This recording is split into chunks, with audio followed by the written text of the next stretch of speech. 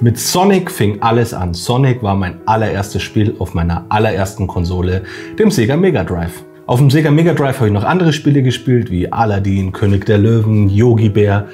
Danach ging es dann weiter mit dem Super Nintendo, dem Nintendo 64, PlayStation 1, 2, 3, 4, Xbox 360, wie sie alle hießen. Ich hatte alle Konsolen, bis auf den Dreamcast und die Wii U. Dreamcast weiß ich nicht, der ist irgendwie so an mir vorbeigegangen und äh, an der Wii U hatte ich einfach absolut kein Interesse. Aber wie gesagt, der Sega Mega Drive war die erste Konsole und eigentlich zocke ich seitdem mit ein paar kleineren Unterbrechungen durchgehend.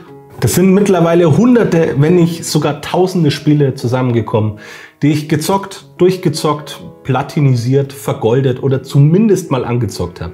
Ja, und wenn man so lange zockt wie ich, dann hat man eigentlich alles gesehen. Und dann fängt man irgendwann an, darüber nachzudenken, was man noch nicht gesehen hat, aber gerne sehen würde. Und da ich selbst solche Ideen nicht umsetzen kann, weil ich vom Programmieren ungefähr so viel Ahnung habe wie Till Schweiger vom guten Schauspiel, habe ich mir gedacht, gehe ich einfach mal euch damit auf den Sack. Das Problem wird sein, dass die Ideen, so wie ich sie in der Birne habe, halt weder umsetzbar noch erklärbar sind. Von dem her werdet ihr wahrscheinlich gar keine Ahnung haben, was ich meine. Egal, reingehauen.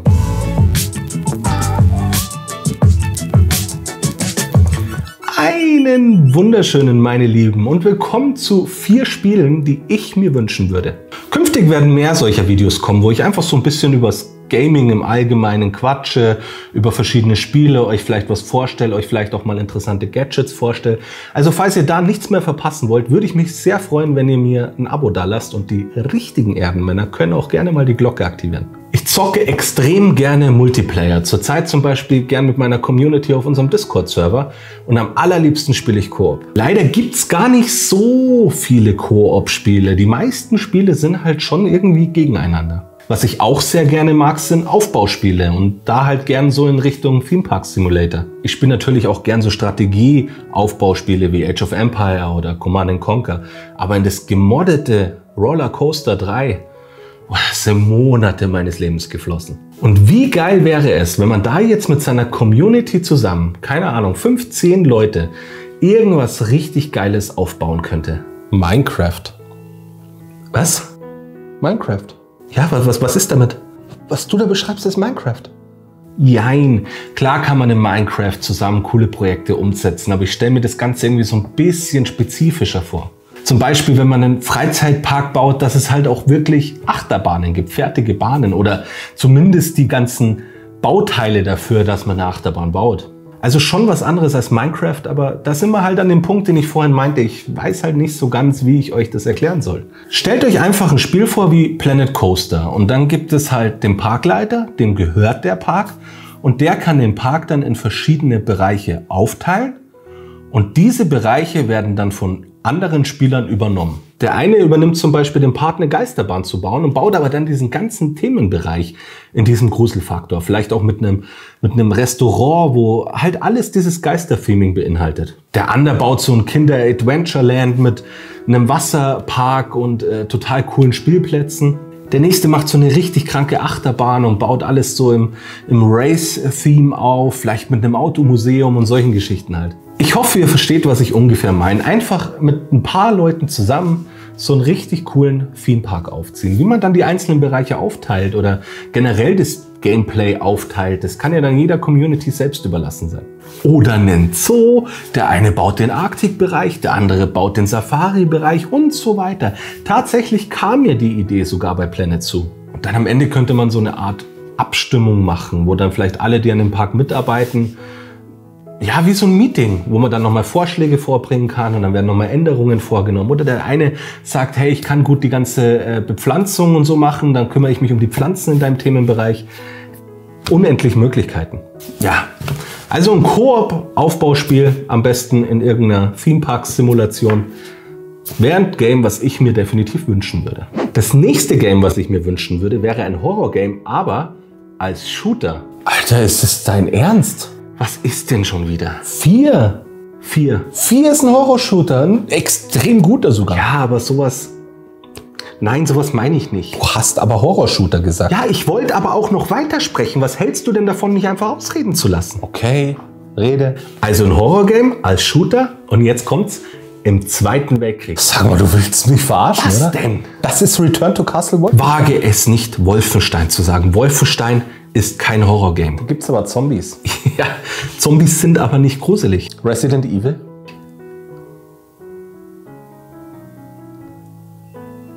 Okay. Okay, okay. Ich, ich glaube, ich muss da etwas genauer werden. Als ich noch ein kleines Jüngele war, habe ich zum Spaß gerne Kurzgeschichten geschrieben. Weiß nicht, ob man das so nennen kann. Klingt spektakulärer, als es ist.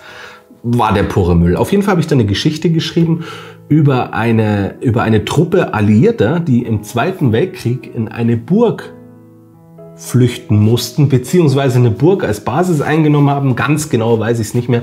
Ich habe die Geschichte auch nicht mehr, aber ich habe, weiß ich nicht, die Story an und für sich habe ich immer noch im Kopf heute. Lange Rede, kurzer Sinn, die sind in der Burg und in der Burg spukt's. Hauptsächlich geht's mir da ums Setting, also Zweiter Weltkrieg und so eine alte, verlassene Burg mit vielleicht einem Verlies oder einem, einem gruseligen Wald, der da noch mit dazugehört. Das eignet sich meines Erachtens nach schon richtig grob für ein Horrorgame. Aber was wichtig ist, der Horror soll nicht der Feind sein. Also ich habe keinen Bock, da einfach irgendwelche Horden von Zombies wegzuballern, wie es zum Beispiel bei ähm, Wolfenstein der Fall ist. Ja? Also der Horror sollte schon nebensächlich sein. Und zwar versuchen Deutsche diese Burg zurückzuerobern oder greifen die Alliierten halt an. Und die sind der eigentliche Feind. Und dieser Spukfaktor setzt dem Ganzen halt dann einfach noch die Krone auf. Zum Beispiel in Form von Halluzinationen, die man hat. Ich will das Ganze auch nicht als Hardcore-Shooter, sondern vielleicht eher so in Richtung Stealth-Shooter. Ja? Nur, damit ihr einen Einblick habt, was ich meine. Stellt euch vor, du machst dann so einen Schleichangriff an jemanden und stichst zu und dann zerbröselt der einfach, weil du dir den eingebildet hast. Und dann bam, Jumpscare. Irgendwie sowas in der Richtung. Also es soll weniger, weniger Splatter oder so, sondern einfach ein generelles, ständiges Unbehagen, dass man immer meint, jetzt kommt irgendwas. Und wie gesagt, in dem Setting hat man halt auch heftig viele Möglichkeiten, ja? gerade in so einer verlassenen Burg halt. Könnte sich dann ja herausstellen, dass auf dieser Burg halt irgendwie was Schlimmes passiert ist im Mittelalter.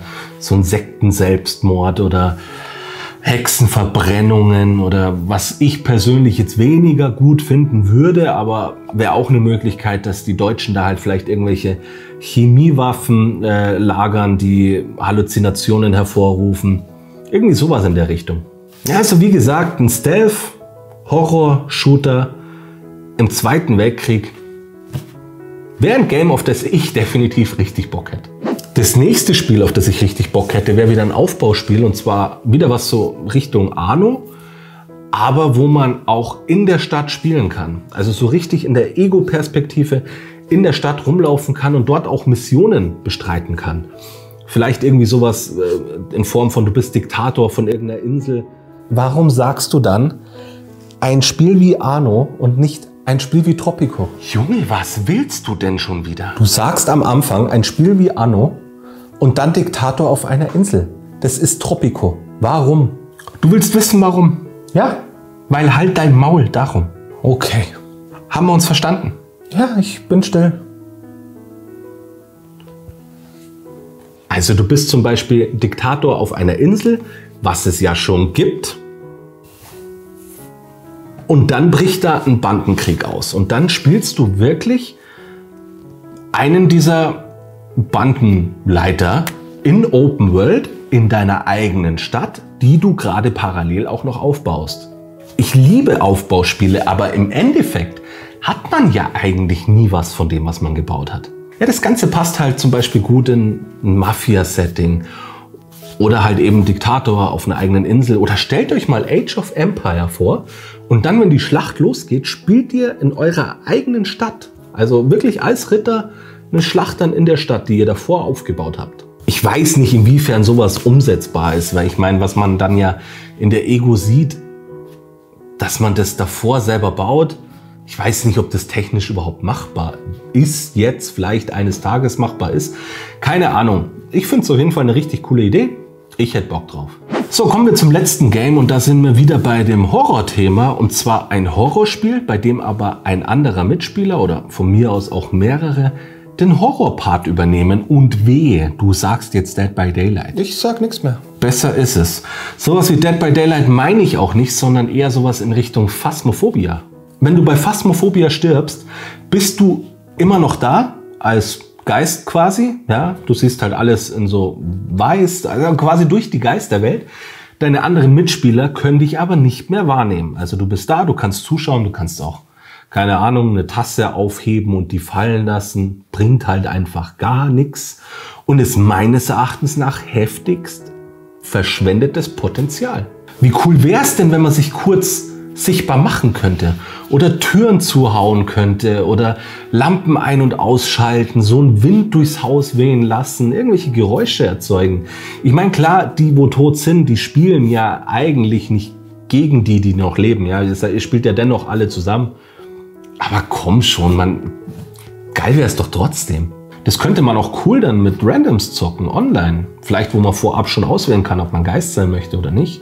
Oder wenn du halt tot bist, hast du dann gewisse Vorteile, die, die du vorher nicht hattest. Hideo Kojima hatte ähnliches vor, und zwar mit dem Spiel Silent Hills.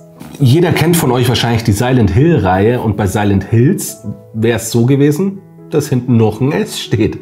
Aber nicht zum Spaß. Und zwar hätte das S wäre ein Hinweis darauf gewesen, dass es mehrere Silent Hill gibt. Und zwar in Form von verschiedenen Dimensionen, die aber alle Einfluss aufeinander haben. Bisschen tricky zu erklären, das Spiel war ja auch noch nicht allzu weit ausgebaut, von dem her wird wahrscheinlich nur Hideo Kojima selbst wissen, wie die ganze Geschichte geplant war. Er hat aber mal ein Beispiel genannt. Ihr seid jetzt zum Beispiel in einem Hotel und durchsucht die einzelnen Zimmer dort. Und irgendein anderer Spieler, den ihr überhaupt nicht kennt, macht das Gleiche. Jetzt seid ihr in einem Apartment und dieser andere Spieler ist auch in diesem Apartment. Ihr seht euch natürlich nicht. Und dann macht ihr die Tür zum Badezimmer auf. Dann kann es passieren, rein zufällig, dass die Tür bei euch auch aufgeht. Weil diese Dimensionen halt alle ein Stück weit ineinander greifen. Das Ganze wäre absolut random. Und so hätte man halt, ja, so hätte jeder eine komplett andere Spielerfahrung. Und auch jedes Mal, wenn du es wieder spielst, spielst du ein komplett anderes Spiel. Ich weiß natürlich nicht, wie weit das Ganze gegangen wäre, aber da hatte ich halt einfach vollstes Vertrauen in Hideo Kojima. Ich meine, der Typ ist eine Legende. Jeder, der auch nur mal an der Playstation vorbeigegangen ist, sollte wissen, wer der Mann ist und was der schon alles erreicht hat. Und ich bin mir sicher, Silent Hills wäre ein bombastisches Spiel geworden. Leider verließ Hideo Kojimi 2015 nach diversen Streitigkeiten Konami und das Projekt Silent Hills wurde eingestampft. Es kochen immer wieder Gerüchte auf, dass der oder der gerade wieder dran arbeiten. Ich glaube, momentan soll Sony da gerade irgendwie dran sein, das Projekt wieder aufleben zu lassen. In trockenen Tüchern ist da noch gar nichts, von dem her verlasse ich mich da auch nicht drauf. Für mich ist das Projekt Silent Hills erst einmal weg und ich finde es sehr schade. Also die Idee fand ich genial. Naja, wenn da eines Tages was kommt, ich würde mich auf jeden Fall freuen, aber solange da nichts in trockenen Tüchern ist, möchte ich gar nicht hoffen. Sei es drum. So in die Richtung könnte ich mir auf jeden Fall ein mega guten Horrorspiel vorstellen. Ich halte es auch für meine realistischste Idee heute, weil wir halt mit Phasmo eigentlich schon in eine gute Richtung gehen. Und Silent Hills hätte ja auch so diesen Weg eingeschlagen. Ich denke, da würde über kurz oder lang was kommen. Es ist technisch absolut machbar und Horror wird einfach immer beliebter. Das waren meine Ideen für Games, die ich mir wünschen würde. Jetzt seid ihr gefragt, wie fandet ihr die Ideen? Hättet ihr auch Bock auf eins dieser Games? Oder noch besser, habt ihr vielleicht sogar eigene Ideen für Games, die ihr schon immer mal spielen wolltet? Lasst es mich wissen, schreibt es unten in die Kommentare. Ich danke euch allen fürs Zuschauen. Wir sehen uns beim nächsten Mal. Reingehauen.